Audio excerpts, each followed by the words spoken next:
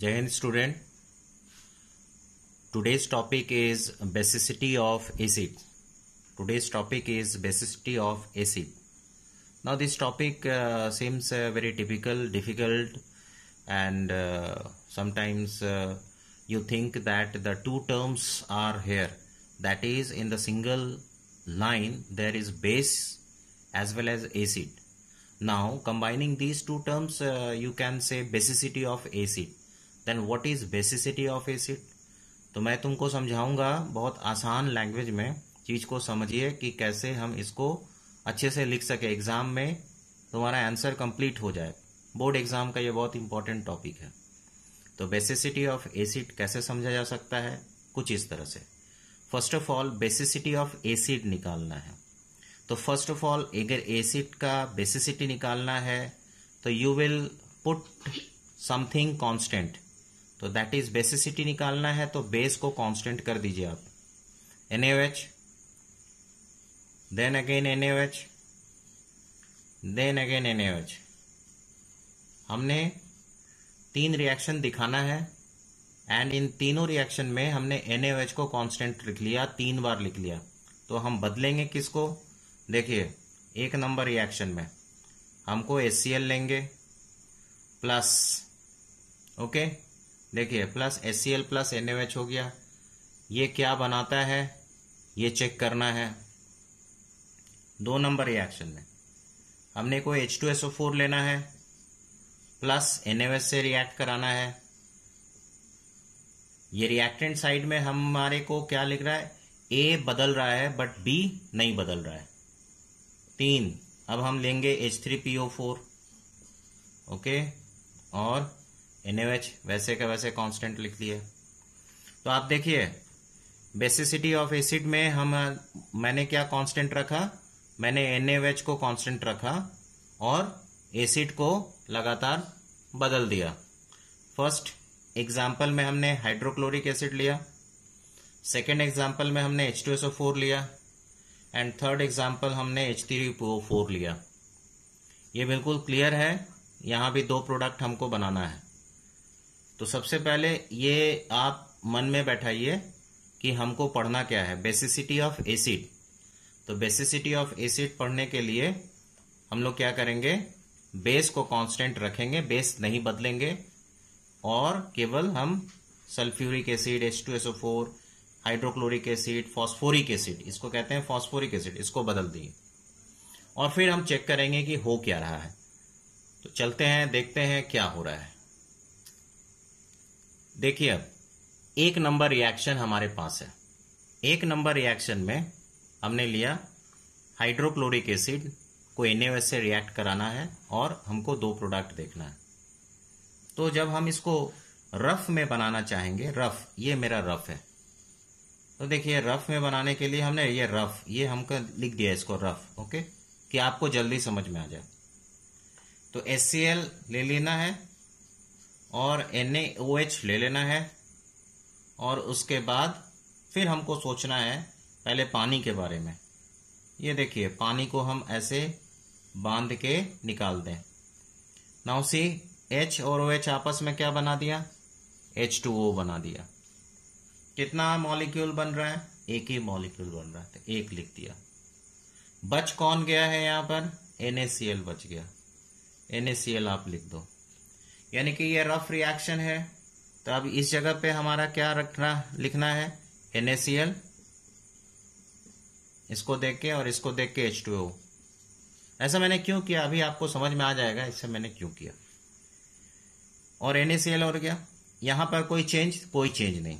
तो that is reaction is balance चलिए, ये आपको समझ में आ गया कि one molecule S one molecule NH से रिएक्ट कंप्लीटली कर सकता है। वन वर्सेस वन, यानी वन इज़ टू वन, ये हो गया। तो टाइटल क्या था?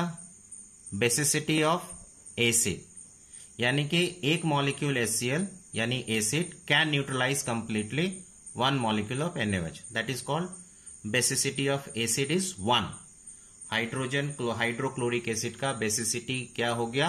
वन अब आते हैं हम लोग दूसरे रिएक्शन में। ये देखिए सेकेंड रिएक्शन था मेरा।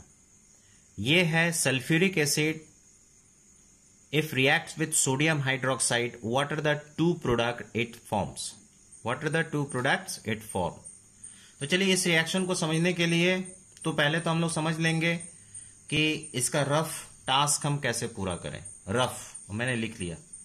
ये आप लोग एग्ज़ाम में डायरेक्ट भी कर सकते हैं या रफ में दिखा के फाइनली बैलेंस रिएक्शन ना याद करने का झंझट है, किसी तरह का कोई परेशानी भी नहीं है।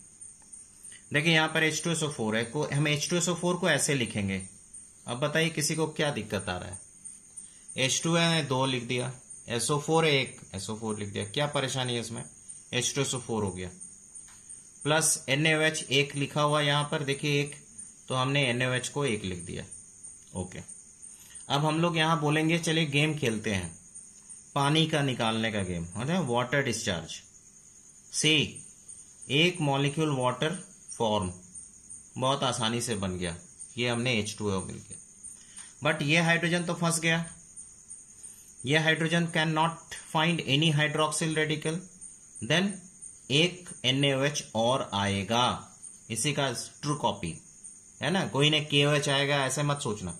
एच अगर एक हाइड्रोजन सेम तो सेम का ही वो प्रोडक्ट खोजेगा पार्टनर पार्टनरशिप तो देखिए, यहाँ पर एच यहाँ से आप ऐसे करके घेर के पानी की तरह ये पानी को निकाल दो। तो देखिए, कितना पानी बन गया? एक पानी इधर से और एक पानी इधर से, यानी कि यहाँ दो लगा दो। प्लस अब बताइए, बचा हुआ जो है एक साथ लिख दीजिए। क्या बचा आपको? क्या दिख रहा है? एक सोडियम, दो सोडियम और एक सल्फेट, यानी कि Na2SO4 ठीक है? तो ये प्रोडक्ट यहाँ आएगा। Na2SO4 प्लस ये प्रोडक्ट यहाँ जाएगा 2H2O देखिए राइट साइड तो इससे ही ज़्यादा बैलेंस है, लेकिन लेफ़्ट साइड ये देखिए यहाँ पर एच टू एसओ फोर एक ही का एक ही यूज़ हुआ बट एक एच टू एसओ फोर कितने सोडियम हाइड्रोक्साइड को न्यूट्रलाइज का पावर रखा? कितना न्यूट्रलाइज किया? दो। देखिए दो। वन एंड टू दो। तो आप यहाँ दो नंबर बैठा दिए। ये रफ वर्क ओवर आपका एग्ज़ाम्पल एग्ज़ाम में ये आंसर आएगा.